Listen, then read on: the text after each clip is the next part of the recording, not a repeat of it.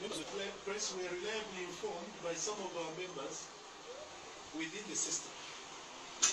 And let uh, President Talende not make a mistake. We still have members in the system.